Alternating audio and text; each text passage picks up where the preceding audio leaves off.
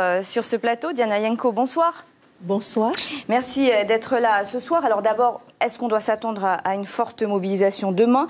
On sait qu'il y a un peu plus de 10 000 fonctionnaires d'État en Polynésie euh, française. Est-ce qu'ils veulent marquer leur opposition ici aussi aux réformes du gouvernement d'Emmanuel Macron en descendant dans la rue demain? Alors euh, d'abord, je voulais saluer euh, tous les collègues qui nous regardent ce soir. Euh, évidemment, pour demain, nous avons déjà des premiers chiffres qui nous sont arrivés aujourd'hui à notre permanence. Oui, la mobilisation va être forte demain.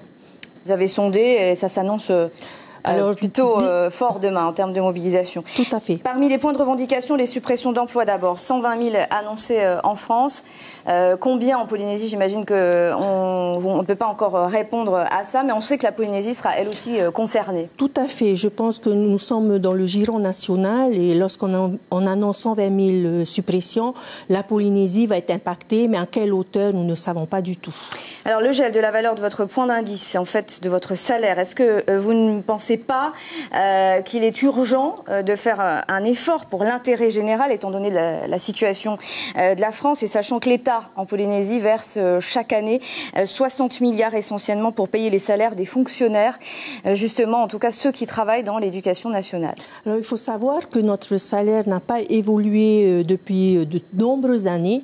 La grille salariale, elle est gelée depuis 1989 et que le point indiciaire a été dégelé récemment en février 2017 de 0,6%, très très peu. Alors que la vie augmente, euh, aujourd'hui, euh, tous les produits coûtent beaucoup plus cher et que notre salaire ne, bouge pas. Est-ce que vous, comprenez qu'une partie de la population euh, puisse trouver ça choquant?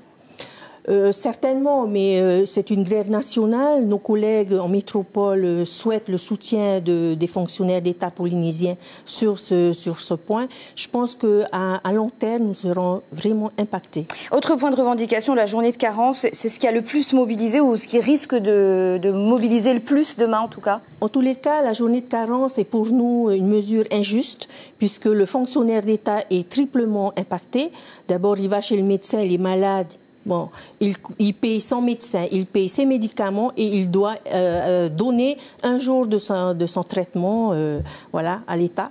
Donc nous trouvons ça injuste. Dans le secteur d'éducation nationale, il y a les enseignants, mais il y a aussi les agents publics. Au total, 6200 personnes. C'est dans les écoles, les collèges et les lycées publics que la mobilisation risque d'être la plus forte demain je pense que les autres fonctionnaires vont nous rejoindre puisque ce matin, nous avons formé une intersyndicale euh, de la fonction publique euh, avec euh, des collègues du Trésor, de la météo, de, de la justice.